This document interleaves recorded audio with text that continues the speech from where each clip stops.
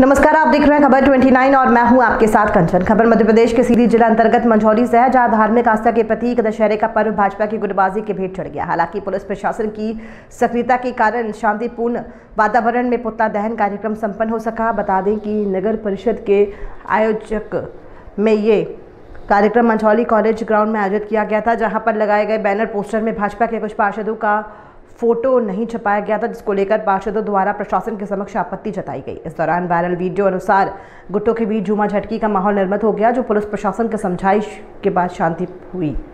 विरोध के बाद प्रशासन द्वारा कार्यक्रम स्थल पर लगे आधे अधूरे पार्षदों के नाम में फ़ोटो का फ्लैक्स निकलवा दिया गया। यह देख अध्यक्ष पक्ष के पार्षद विरोध जताते हुए अध्यक्ष सहित वहाँ से चले जाने पर प्रशासनिक निर्णय पर उपाध्यक्ष उदय भान, यादव एवं विधायक प्रतिनिधि राम सखा शर्मा के हाथों का पुतला दहन कराया गया। जिस दौरान वर्षों पुरानी परंपरा ध्वस्त किए जाने की चर्चा रही, बताया गया है कि पूर्व में राम लक्ष्मण के पात्रों द्वारा पुत्रा दहन किया जाता था। विगत कुछ वर्षों से मड़वास राजा अभ्युदय सिंह के द्वारा किया जा रहा था, लेकिन इस बार राजनीति का साया रहा और नगर परिषद अध्यक्ष द्वारा पुतला दहन किए जाने की जानकारी रही। अध्यक्ष के अनुपस्थित में उपाध्यक्ष एवं विधायक प्रतिनिधि द्वारा पुतला दहन किया गया, जहाँ पर कार्यक्रम की सुरक्षा व्यवस्था में तैनात पुलिस प्रशासन की महिला आरक्षण प्रतीक्षा तिवारी ने द्वारा मनमोहक भक्ति गीतों की प्रस्तुति देकर कार्यक्रम में रंग भर दिया।